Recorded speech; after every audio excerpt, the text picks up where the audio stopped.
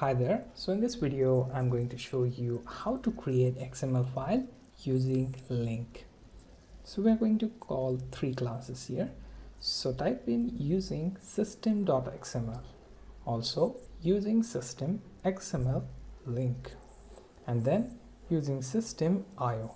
Now inside your static void main method, type in x document and then call for this variable doc and then create x document instance. Okay inside this instance we are going to create new x element. Okay so that x element can start from let's say first name it body and the next element we will create okay let's name it message and then create another new x element. Okay. So here we name it let's say content. Okay. And inside that content we will type in this is an email message okay so all the errors are gone now. And now all we have to do is type in document dot save and specify the path.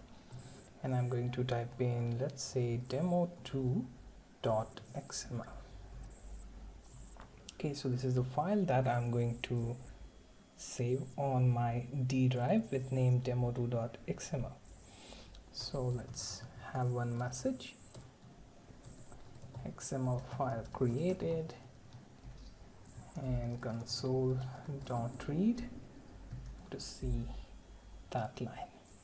Okay you don't have to write these two. I just made it for others who are watching this video and they want to see how quickly the program created this file.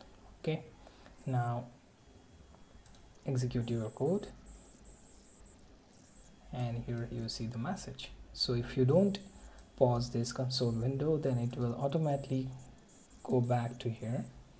And you have to manually check the D drive and then go for your file. So that file is here. Demo2 okay